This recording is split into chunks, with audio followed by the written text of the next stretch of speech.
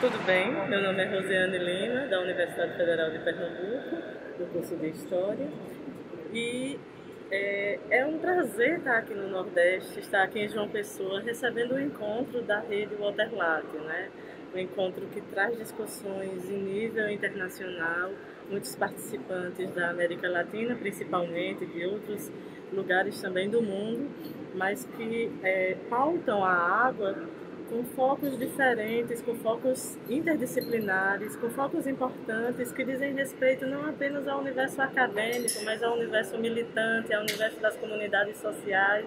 É um prazer para a gente estar recebendo todos aqui e é um prazer também estar participando de todo esse processo, discutindo cultura, discutindo arte, discutindo educação dentro da rede com todos vocês.